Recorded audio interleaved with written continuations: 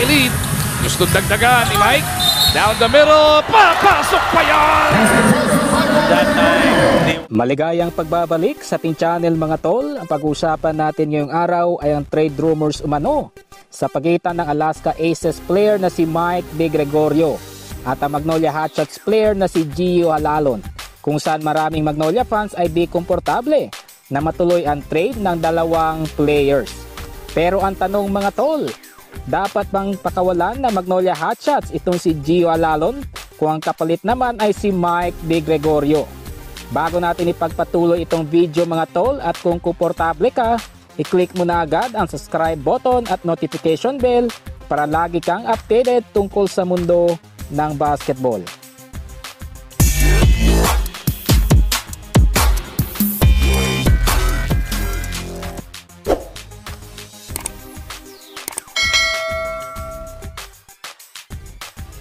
Nitong linggo nga ay sari-saring trade rumors ang lumalabas at nakikita sa mga social media.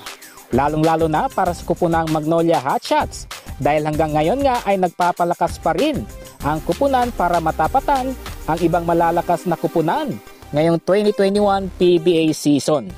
Alam naman natin mga tol na ang kailangan talaga ng Magnolia Hotshots ay isang big man para sa kanilang front court rotation. Pero ang lumalabas na pangalan ngayon sa panibagong trade rumors na Magnolia Hotshots ay itong si Mike De Gregorio na ang kapalit naman ay si Gio the Cyclone Halalon. Dahil nga hanggang ngayon nasa trading block pa rin itong si Halalon at syempre may expire na rin ang kontrata nito ngayong paparating na Agosto. So abang-abang na lang tayo mga tol kung i-extend ba na Magnolia Management ang kontrata ni Gio Halalon o hindi. Alam naman natin mga tol na malaki ang improvement ni Mike De Gregorio last PBA bubble lalong-lalo na sa kanyang stats dahil umaverage siya ng 10 points per game, 1 assist per game at 3 rebounds per game.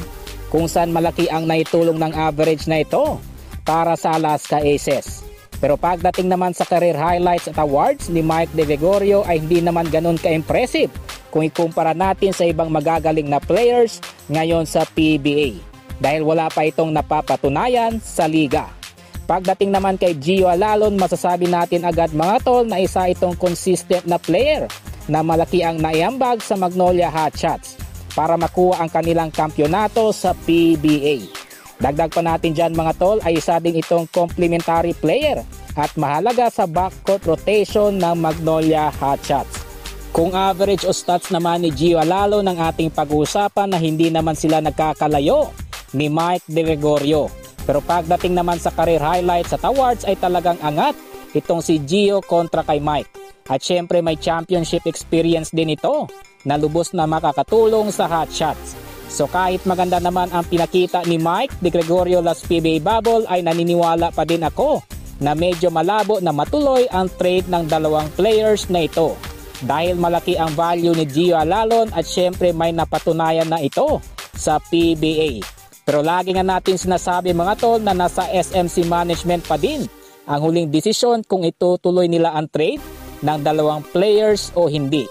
So para sa akin mga tol ay di na dapat pakawalan pa na Magnolia Hotshots itong si Gio Alalon kung ang kapalit naman ay si Mike De Gregorio dahil isa itong high value player na lubos na makakatulong sa Magnolia Hotshots ngayong 2021 PBA season. Para sa inyo mga tol, ano sa tingin ninyo? Dapat bang pakawalan na Magnolia Hotshots itong si Gio Alalon kung ang kapalit naman ay si Mike De Gregorio? Comment below mga tol dahil pupusuan natin yan at babasahin isa-isa. At syempre huwag din kalimutan i-like at share agad itong video para mas ganahan pa akong mag-upload na marami pang videos tungkol sa mundo ng basketball. So this is Channel B once again. Keep safe mga tol at adios.